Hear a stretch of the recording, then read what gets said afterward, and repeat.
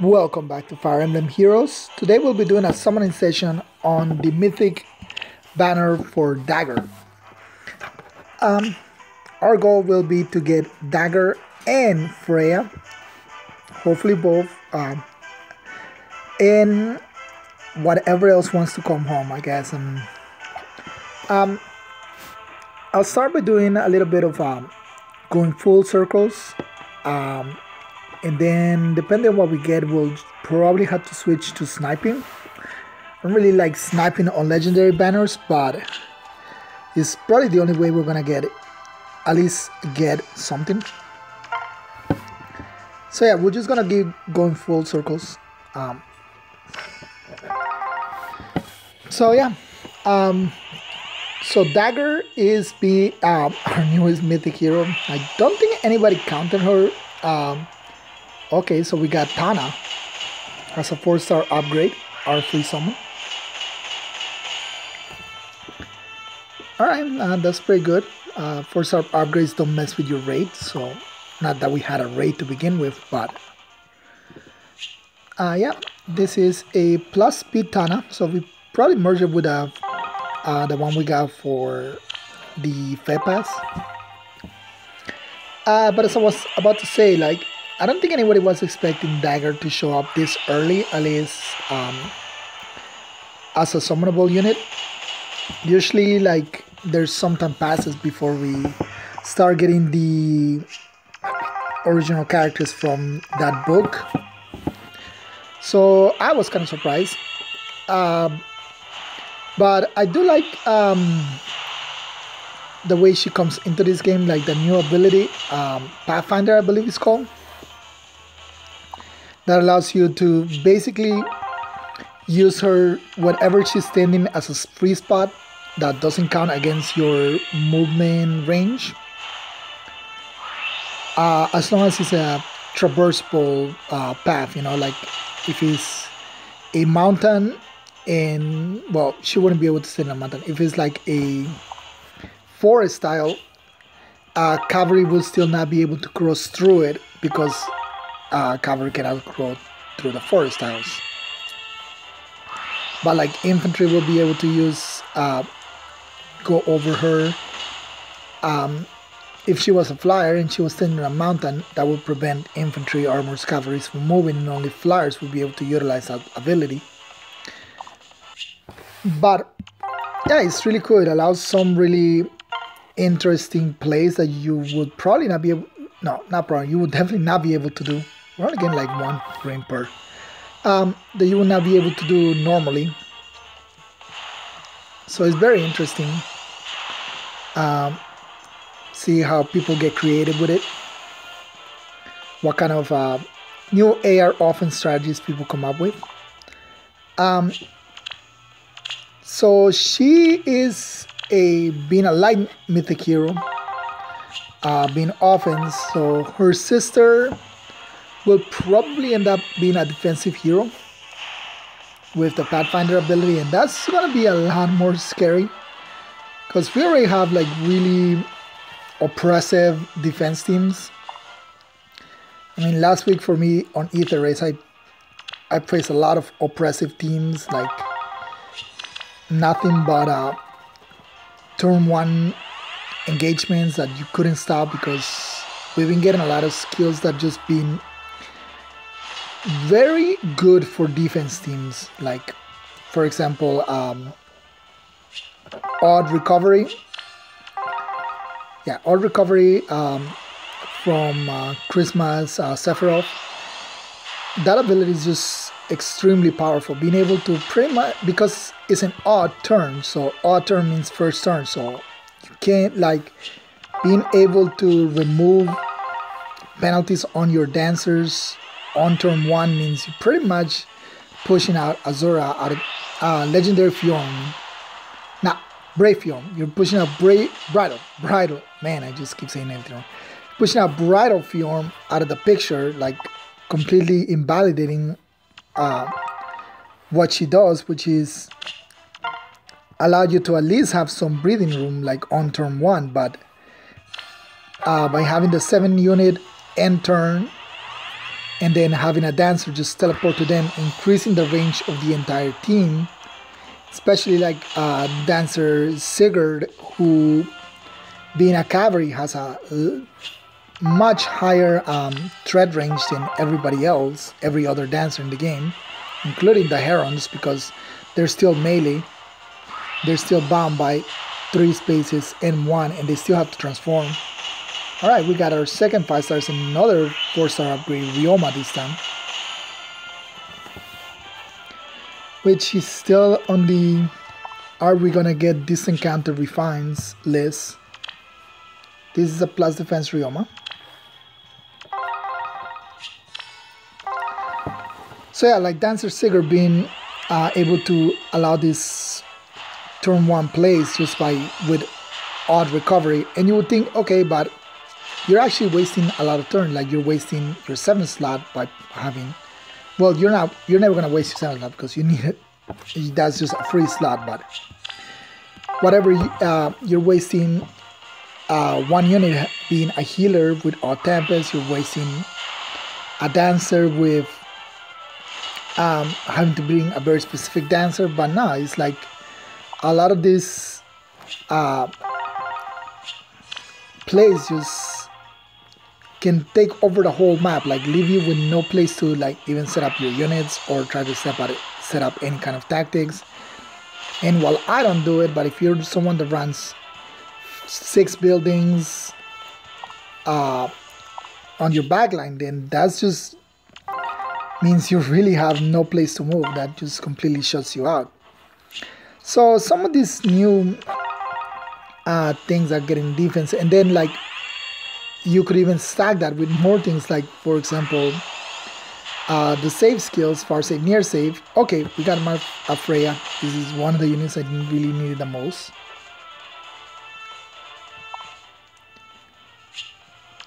Uh, I guess B minus HP or neutral plus HP minus defense uh, I guess that's kind of neutral um, but yeah like these save skills like they can even prevent you from like okay so I can't let this team initiate I have to initiate on them but then you have this save unit right there that is gonna prevent you from even initiating a player phase so um, a lot of these new skills that we've been getting have been more favorable toward defense than anything else.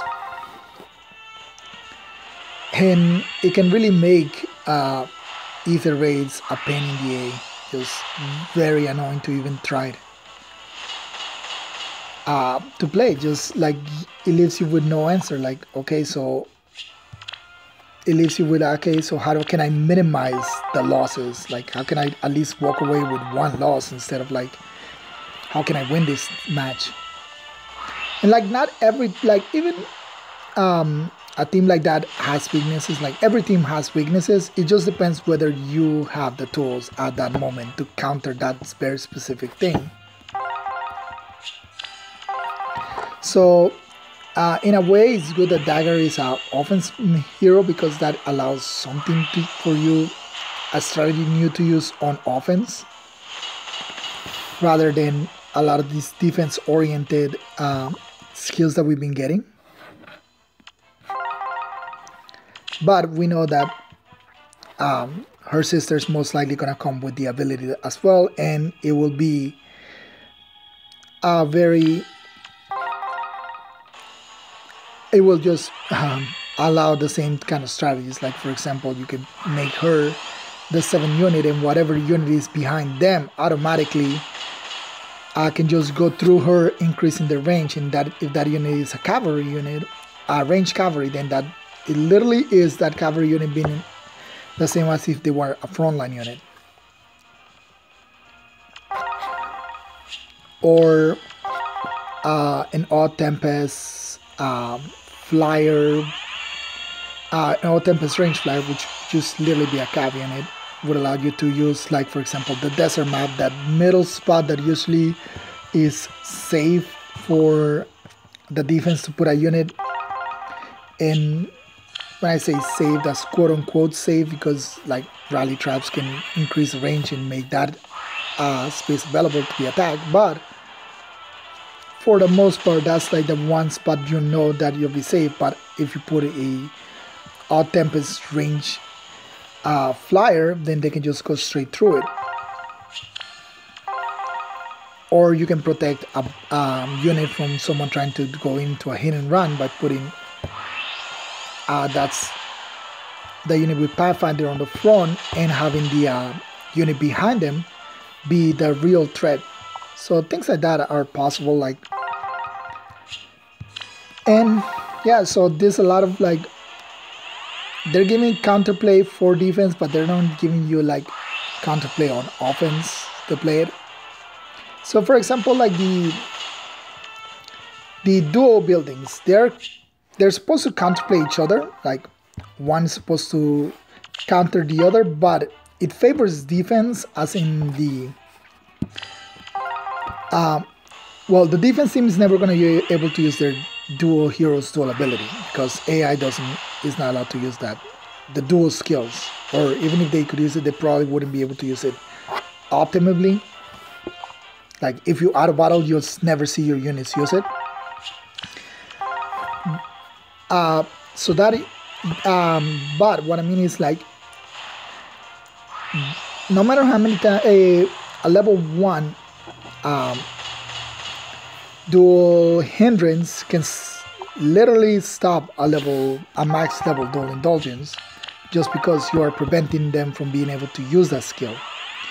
So i think a better way to have balanced it out would be like uh, to counter each other like a level 1 counters a level 1 level 2 counters a level 2 and so on and so forth that would probably make it a little more uh, even balance like force people to okay this is really the strategy I want to take, I'm gonna have to build this tower as high as possible to counter uh, offense teams doing okay. If I really want to use the strategy, I have to build this tower as high as possible. I think that would have been a better counterplay for it, like a better way to go about it for both players. Um, give make it a little more even, I guess I could say. Even like um, I don't use dual heroes on offense um, to this day. I mean, and depend if we get a really good one, and I get it. Like to this day, I think the only one that I have that is a dual hero is that I summon is Ephraim, dual Ephraim, and of course that we all got the du free dual Lyn, so that one I also have. Plus, I summon two extra ones, so yeah, in a way, I do have dual Lyn and dual Ephraim, but Dual Lyn is really not that good on defense, and you can make use of dual Ephraim on offense, but it requires like very specific Gale Force strats in order to maximize his utility.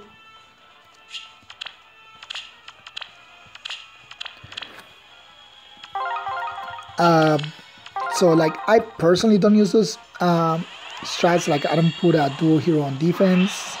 I don't use a dual hero on offense. So I have yeah I have not even built uh, dual hindrance or dual indulgence at all because I don't use them, and they're not in the rotation either. So there's no point for me to build them if I'm not gonna use them.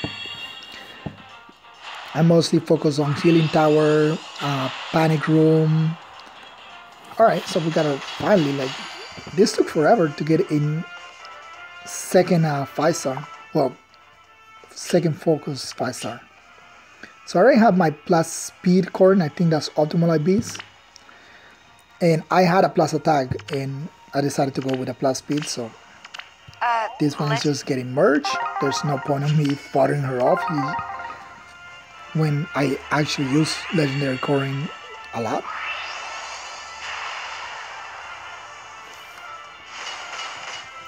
But we yeah, it's not been a very good summoning session. Like we haven't gotten a lot of units even going full circle. Like full circle is supposed to be optimal in you just want to get units, but we are not getting a lot of them. And we're not even getting that many green uh, orbs, so sniping will probably be very bad. Like look at here, not a single green orb. Mostly we've been getting one green orb per pack uh, per circle, so see, not getting this green orb, so there's really zero point in sniping. Uh, but yeah, moving on. So I think some balance, rebalances need to come to AR. I think one of the best ones would be like to desync the seasons, uh, make offense like light on defense, Astra on offense, light versus Astra, Anima versus Dark. So like just rotate him the same way like there's a major season and a minor season on um, Mjolnir Strike like it's a Mjolnir Strike? Yeah, it's Mjolnir Strike. So you have your major season, uh, the one that gives you a little more bonuses for those units, and the minor season. And in order to use the seventh slot, you have to use the major season uh, bonus heroes for it. Uh, so yeah, something like that, like desync the seasons, just uh, move them around. Like you can use your dark heroes on offense, your uh, light heroes on defense. I mean, you can use you can do that using, but I mean, like for optimal scoring. And that should at least change some of the dynamics of Aether Raids. I think it will fix some of the problems that we're getting. Like again, like getting a lot of skills that are extremely valuable for defense. Uh, that have no counterplay. Like Odd Tempest is it has no counterplay only other than it only works on odd terms. Uh, but it really just that's it. That's like the only counterplay. At least like um, the other skill that works like that, which is a Kia Staff, that at least only works on the lowest HP or the lowest unit's HP that has a debuff. So it has a very specific um, uh, what you call it condition. It has a very specific condition that you have to meet. Um, so if I could enable turn one plays, uh, there is counterplay. Like okay, first the opponent, whoever's building the defense team, they have to choose. Okay, do I want to do a HP stacking? So making sure all the units have the same amount of HP in order to maximize the gains, but then you're giving those units possibly suboptimal skills like HP plus 3, HP plus 4, HP plus 5, HP. So you're sacrificing a possible A slot or seal in order for you to maximize your gains. So, and on the, and if you're not doing that, then the enemy has the ability to like, for example, target a debuff at a specific unit if you're if you have something like uh, Plumeria on offense, uh, which she debuffs whatever is the closest to four spaces from whatever you're dancing. So you can target a debuff uh, to break the play. So there, that means there is counterplay for it. But for even Tempest, there's just no counterplay on it. You cannot stop it on turn one. So in a way, I don't think it was a good idea to for it to be to work against isolation. Isolation is very powerful. Like it's able to stop um, a dancer from dancing or a rally trap from initiating is extremely powerful, but it also requires you as a player to HP stack a unit for it. So you have to HP stack uh, Baratheon in order to maximize the number of units that she is going to be able to um, be effective against. So the counterplay for defense is just to HP stack your own units. Like we used to see a lot of um, Sylvia. Sylvia, I think is yeah, dancer with over 70 plus HP, or you see Ninian a lot with a lot of HP. So that's counterplay. In but for Odd Tempest, there really is no counterplay. Like it's just it activates on turn one, and it activates turn one plays that you really don't have a way to counter, other than like possibly predicting AI and making sure your units are in the in a spot that uh, will not be activated once a movie uh, unit moves, which can be difficult uh, based on map layouts or um, buildings that you have and stuff like that. So it's not guaranteed for you to be able to have the ability to do it, but especially you have to bring um, three buildings guaranteed every season. All right, we got Edelgard this time, so I don't think I'm gonna be able to get a Dagr, which is, bad because I won't be able to use her on bonus weeks. This is a plus stress minus attack. I'm currently running a plus speed Edelgard. And I like using plus speed Edelgard just because sometimes she's able to break through uh, slower units. But this is what only three units, right? I think I spent over 200 orbs and I only got in three heroes.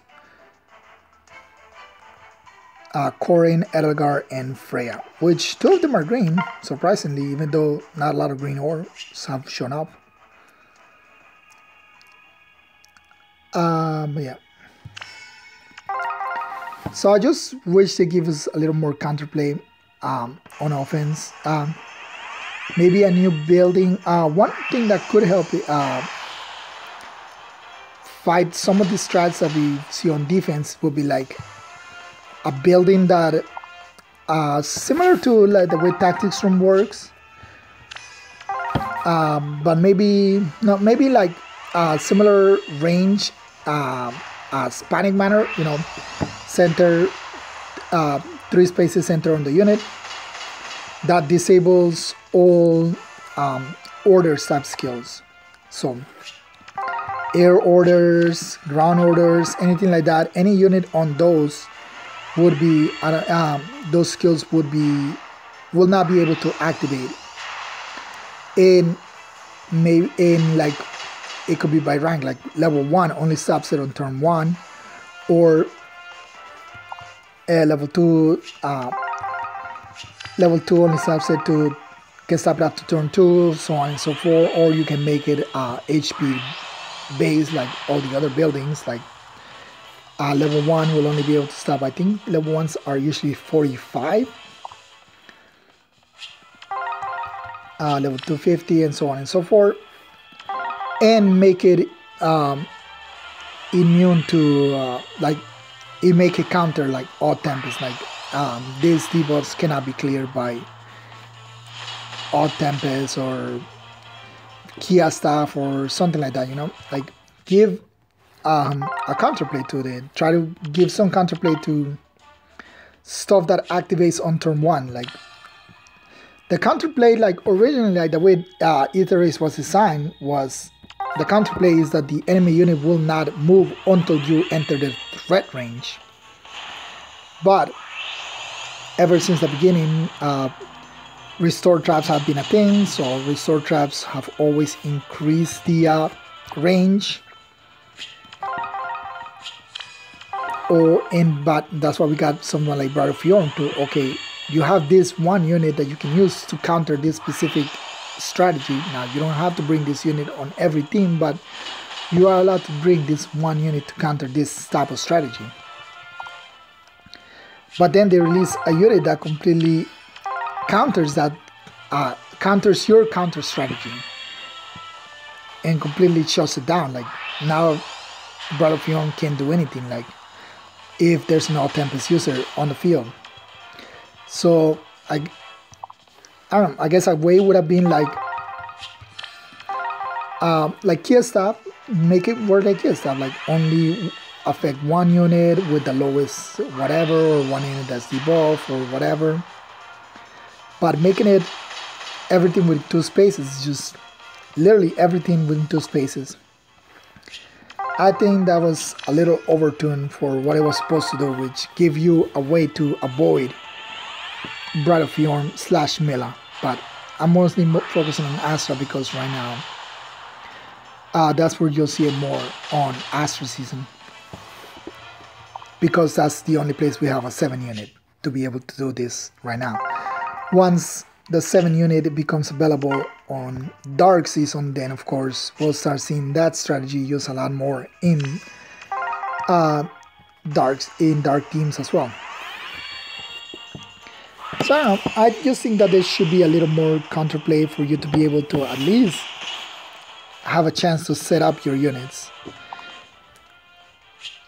And again, this piles up on top of the save skills that can just that way you can you can build your team to have a unit uh, with save skill so that prevents even the player okay I'm gonna try to snipe this unit on turn one so I can stop uh, a rally I can stop a dance I can do something about it but you uh, then you're not even able to initiate on that enemy if there's a save unit near it.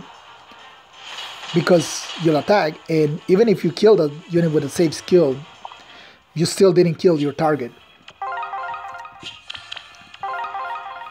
so yeah um, I just think that those kind of strategies are a little there needs to be counterplay for everything like you need to be able to have a chance to go against the enemy and do something I think this is the first Emerald I got in since I plus 10 her I believe this is the first Emerald I got in since I plus 10 my Emerald. So let me mark it like this just so I can see. Alright, this is the last green orb, so this is pretty much as far as we'll go for now. And this is a 3 star.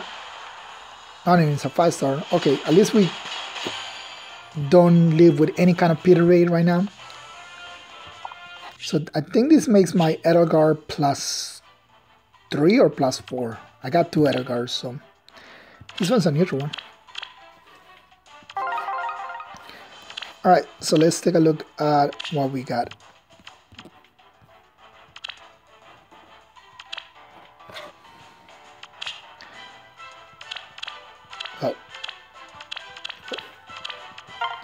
Alright, so we got one Edelgard, two Edelgards, one Corrin, one Freyja. So we got four units out of almost 300 orbs. Mm, I don't think that's very good.